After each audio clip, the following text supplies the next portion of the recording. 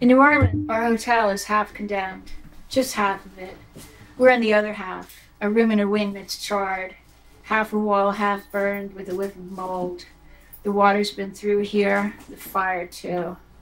Sitting on the edge of the bed with the windows permanently locked. We don't unpack, just take a few items from our bags and place them in another bag before we walk back out of the room. We were late getting there, and we're running late for the show. Someone's waiting for us. I toss my toothbrush, toothpaste in with the fripperies so we can clean up in the dressing room. There's a car waiting downstairs. The driver's name is Popcorn. His house is gone. He watched his dog swimming toward him again and again until he couldn't make it. He was swept under right before his eyes. He was up on the roof when his dog Frankie drowned. He asked if we wanted to drive around the neighborhood before the gig. They were running late. We all said yeah. There are messages spray painted on the front of houses. No one here, too, inside. The houses in Necco live for pastels, with broken black boarded up windows, the smell of bleach and gas. Balconies sagging like a sad old showgirl smile, missing teeth. This was my sister's house, said Popcorn. This is where my friend Keith lived. Still can't find his cousin. They're like brothers. Ernestine climbed out here. They saw her in a yellow slip and bike shorts with her babies last time they saw her. We're at the city park now where we're playing the Voodoo Festival that got rescheduled after the storm. We walk across the soggy field in our city shoes. There's a tent set up in the middle of the field. There's a stage up in front. The tent has a couple of folding tables and metal folding chairs. There's a raft of plastic bottles of water. We brush our teeth, swigging from water bottles, aiming our spit out at the patch of sunlight on the mossy grass behind the tent. There are flags hung from the ceiling of the tent that delineate the space into sections. We rummage through our bags. Someone's got a fancy Bobbi Brown compact. Here's another mirror in my kit bag. We share. There's hairspray. I've always got eyeliner, which we know you're not supposed to share, but we do. It's not as though we're sharing needles. We pass them around, rat tail, teasing comb, nail polish, chemical fumes diffusing with the chemical air around us, the smell of gas everywhere, and gasoline, cigarettes, and Clorox. The whir of the generators as loud as the sea. We surprise ourselves by emerging from our bootleg wardrobes with everyone dressed in red and black spontaneously there's a red and black polyester shirt from the 70s with daisies and a pointy collar. The Richard Pryor shirt, we call it. There's a black tuxedo shirt with red stitching on the ruffles and cuffs. There's a black leather jacket with zippers and a red sequined rose, a red silk blouse, Italian darling, with a black vinyl skirt. There are black bolero bell bottom jeans with hardware on the sides. A cloud of silk scarves which are passed around, tied around bare waists and heads and arms. One used to bandage the wrist of one of us who had been badly bitten on the arm. The stitches were out, but he liked a splint to protect it when he played. Tied with a bow, let us go. Time to put on a show. Miss New Orleans. There's a keg on a crate at the foot of the stairs going up to the stage. A stack of red plastic solo cups. Someone passing a bottle of wine the show. The show is a nighttime act that's brilliant in the sunshine. We're like the circus in the afternoon. Then there's the second line marching band, the speeches from the mayor led us all in singing Amazing Grace, tears in our eyes, steam rising off the grass around us in the field, and the brass horns shining in the sun, brass buttons on the uniforms of the marching band. Later, a woman comes by our tent looking for beer and just to say hello her hair in a ponytail, cigarette in her hand. She's pale with a sunburn. She tells me she knows the rockabilly dude who booked us here. His ex wife was a nurse like her. She was a nurse at Mercy Hospital, she said, and she swam through waters with power lines down, swam over the power lines in the black waters outside the door of the ER, holding hands, wading, then swimming through dark water with black cables and desks desks, floating trash cans, and awnings. Some of them in their underwear, some in uniforms, some in pajamas. Some were going under, babies crying, people praying, curses in the dark. There were gunshots too, she said. I can't even tell you what they told us to do, she said, and I gave her a light. I haven't slept since, she said. No one has. There was nothing to eat. We went out in the street and saw what we thought was an animatronic Paul Prudhomme on the sidewalk outside his restaurant, like a figure in It's a Small World After All exhibit, in his shining white apron and toque. He waves and smiles at us. He is alive. And he turns his benevolent gaze like Jesus at the crowd the stragglers, the staggerers, the sleepwalkers, the stumblers, those who try to saunter on bruised feet and aching bones. There were some who walked, heads high, even with a cane, walking sticks and umbrellas. On the balconies, some gas lamps, some candles. The only women are on the balconies, some in wigs, some in stocking wig caps. Down below in the street, we walk in a sea of men. I don't know if I should take my boyfriend's arm or if that would make me look like he just bought me. I don't want to walk alone, but some places it was just single file in the lamplight on the street. I was in Candie's. I hadn't even brought any sensible shoes. Ridiculous in Candie's. Steady enough where the street was even, treacherous around the gaping holes, black pits in the pavement, with the smell of an outhouse in the marsh. There was music from windows and trucks, but not the Ernie K. Doe of Bourbon Street.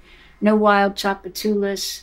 No, now there was the Rolling Stones sounding suburban, miss you, coming from the FEMA workers' bar, and particularly menacingly, the Eagles, cops and soldiers, truckers and lifters, drinking and working and drinking and working, shoulders and backs, hands and helmets. Who has a fleur de lis tattooed on his neck? Who has a shamrock on his hard hat? There were people there we wanted to see, but didn't get it together. Some had been relocated, some had sick kids, some were missing. We were in Spain when the hurricane hit, and we had watched it on the news on Sky TV in our hotel. Seems like we were always in Spain when something happened at home, or what we thought of as home in the world where we moved. Home was, of course, New York City, but it was other places too. New Orleans belonged to some of us. New Orleans wasn't one of mine, you know, not mine personally. I wasn't attached to it the way some people were. Something that would happen in the world when we were on the road and we'd hear about it, and there'd be someone who'd claim it as their catastrophe, their cause, their special place, because they had some roots mm. there, some Proustian connection to the place, the people, a memory, a thread, family, or an old girlfriend, maybe a night in jail. It wasn't always about the revolution. I didn't keep up with every story on my own. At night, I wrote to my daughter. She was home in our apartment uptown. That was home.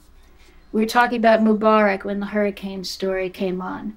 Someone had a photograph from the 20s of a couple of Egyptian lesbians in Cairo at a hookah bar.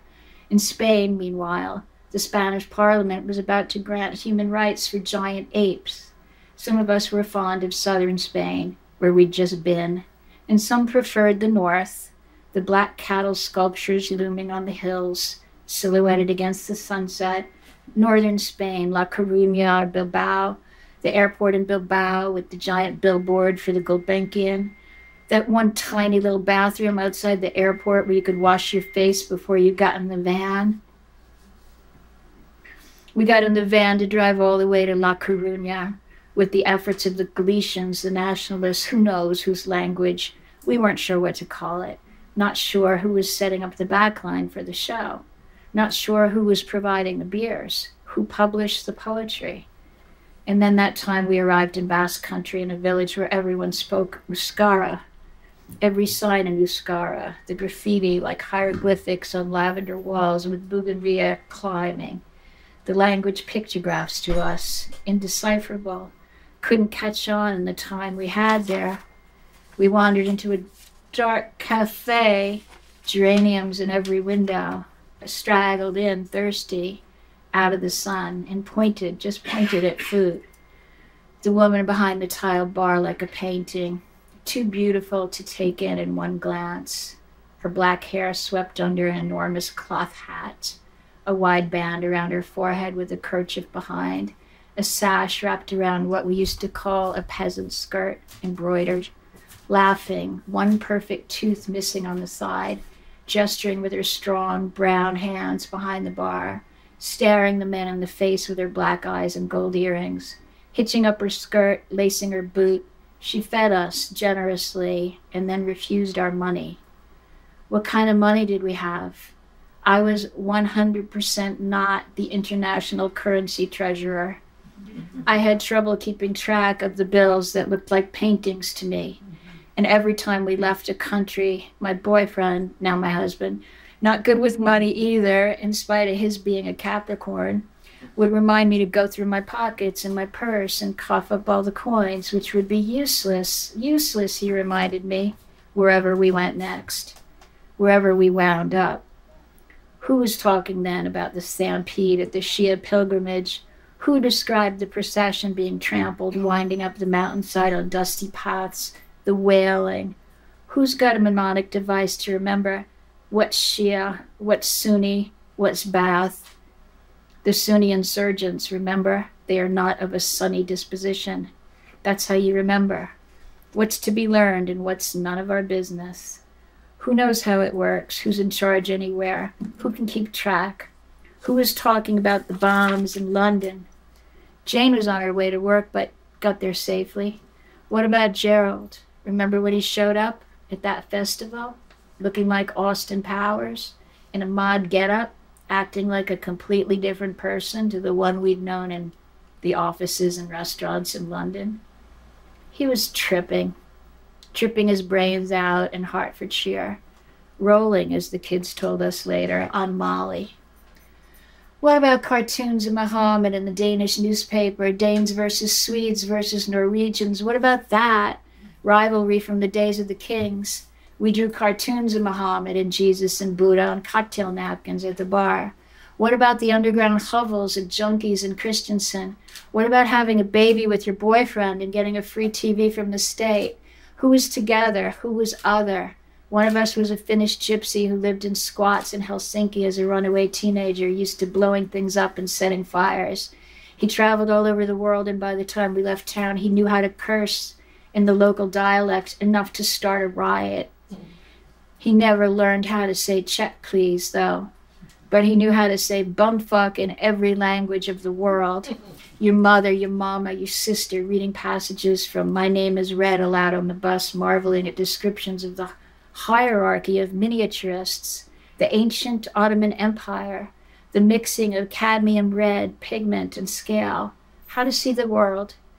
It was forbidden to depict a bird's eye view because that would imply the viewer was observing with the eye of God from above the perspective had to be level, as though you're on the same plane, but tiny, as if at a distance, with details of embroidery and eyebrow, somehow perceptible.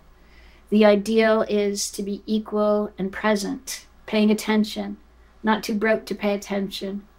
Picturing Peter O'Toole in Lawrence of Arabia, standing on top of the moving train. What about when your favorite movie is Lawrence and there's not one single woman in it? What about when you don't even think about going mad? You just accept that there is madness. You go out and make a show, make something beautiful, ephemeral. We didn't film everything, anything really. I wrote in my notebook, always crossing the desert in a caravan with a dying hermaphrodite in a palanquin. And then that summer on Fire Island, at Danny's little house called Rabbit Hill, we were so broke, we took a job ghostwriting a book about the Osbournes, popular on TV at the time. Though I'd never seen the show until we were hired to write a couple of books about Kelly and Sharon. At Rabbit Hill, we were enchanted. Faded down slipcover on the slept in couch, Ralph Lauren tartan tattered pillows, Victorian mirrors cloudy and copper, shelves of fragile, dried out carapace of paperbacks Agatha Christie, Tom of Finland, Trollope, and of course Symposium, Platonic. There was a television in the living room where we watched old episodes of The Osbournes on video. They played on a loop while we took notes about Kelly's lipstick, Ozzy's kitchen, and just made up the rest. We were on deadline. In the other room, Satyricon plays on a loop all day and night with the dying hermaphrodite carried on a palanquin, often getting stuck on this scene endlessly through the desert. My daughter was out there with me then at Rabbit Hill and quite aware that children were not entirely welcome this part of the island, not anywhere near the Belvedere, not anywhere near the Belvedere. Summarily, she was put to work detangling the morning glories which needed to be done, or mixing the perfect vodka grapefruit, a lesson on how to make her little bed properly, how to devein shrimp, for the shrimp cocktail being served to the famed Egyptologist who often came over for drinks and talked about his paintings. At sunset in the kitchen, leaves against the window like a hand to a face, a couple of bleach blonde tattooed lost boys from the bar, the arc of their lower backs, the arrow leading down their flat bellies, a line of down into their shorts, and the old drag queen who was not speaking to them. Someone was doing coke on the dresser, trying to manage the dementia brought on by interferon, which they used to treat hep C Later, we walked single file in the dark under a sliver of moon along the splintered boardwalk that had been constructed years ago through the woods so that Eleanor Roosevelt could travel secretly more swiftly undercover to her lover in another bungalow further down the beach.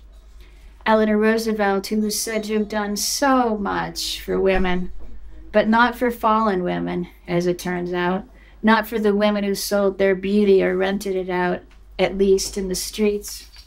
Was that the deer we heard, running in the woods along the path? No, it was men, their bare backs shining in the moonlight through the leaves. Some people hated the deer, considered them invasive, overgrown rodents, a pestilence, wandering into the yard like dope fiends wanting something. Deer in the headlights describes a natural state before your game face is on each day, before you can say, let's dance, or Showtime in your best Bob Fosse voice before the first cup of coffee that takes you over the Maginot line between dreams and what we call real life. Some of us love the deer and think of Bambi.